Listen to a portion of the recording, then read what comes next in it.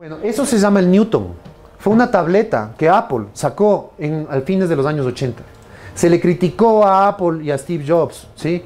Eh, bueno, inicio de los 90, perdón. Se le criticó, se le dijo que e, e, era su, su, peor producto y demás. De hecho, tengo una lámina por ahí que habla de las 10 quiebras de productos de Apple. ¿sí? Pero esta es la más significativa. Quebraron, les criticaron, cayó el valor de acción, quedaron endeudados. Pero de palabras de Steve Jobs, la primera tecnología que utilizó para poder desarrollar lo que ahora es el iPad es precisamente lo que aprendió con el Newton. Entonces lo que tú creas que es la quiebra más desastrosa, la pérdida más grande, si es que tienes largo plazo, escuchen bien esto, y perseverancia, simplemente esa pérdida es una inversión de futuro.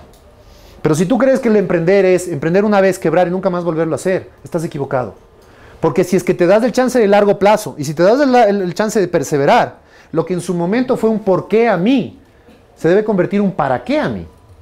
Y el momento que escuchas y sabes que es el para qué a mí, te das cuenta que lo que fue quizás lo peor en tu vida o la peor pérdida que tuviste, se convierte en la mejor inversión.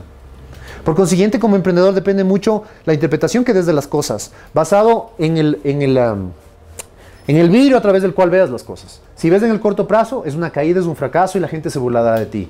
Pero si es que eres constante, si ves de largo plazo y si sabes que esto que quizás fuera la principal crítica es el inicio de lo que ahora conocemos nosotros como el iPad, ya es una de las mejores inversiones que hizo, que hizo Apple.